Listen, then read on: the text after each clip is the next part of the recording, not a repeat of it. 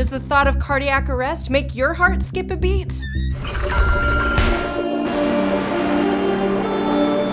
Hi, I'm Megan, and welcome to Scary Symptoms, the show that carries you away with the possible catastrophes inside your body. Maybe it's an inside job. Heartbreak is the least of your worries when it comes to what a pain in your chest could really mean. We've all woken up with that tension just right here, and it's easy to fear the worst. Let's explore the dark possibilities through the tale of one girl's pain in the chest. Meet Maggie. Maggie's a 21 year old art history major who lacks self control when she's around bite sized snacks. She's known for letting her to do lists pile up and instead spends her time socializing, painting, or binge watching TV. Choosing between fun or work was the least of Maggie's worries when one morning she woke up feeling an intense, sharp pain around her chest.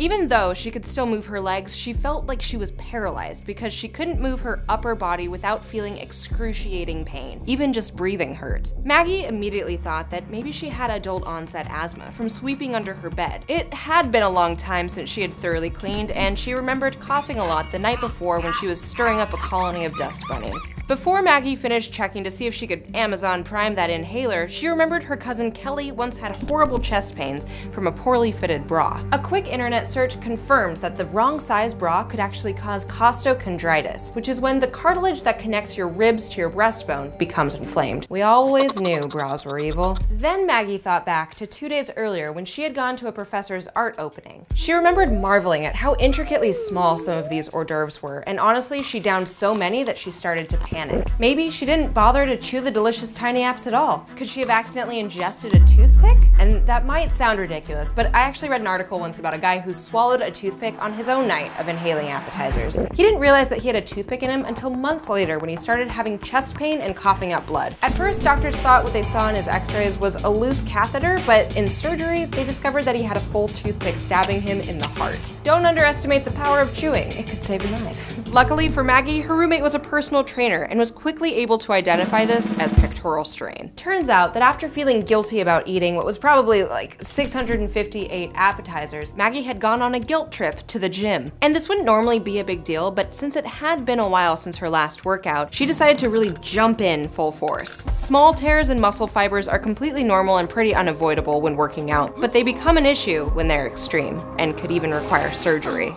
She hadn't even considered this to be the culprit of her now defunct chest. Maggie wasn't going to stop breathing, nor was her bra trying to kill her. She was most definitely experiencing pectoral strain. So the next time you're inspired to work out, make sure you don't go from zero to 100. Stretch, hydrate, and gradually work your way into the super intense stuff. And don't forget to chew your food.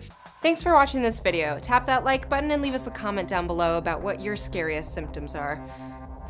Hopefully that doesn't get weird. Subscribe to Snarled and check out our other videos, and I will see you next week.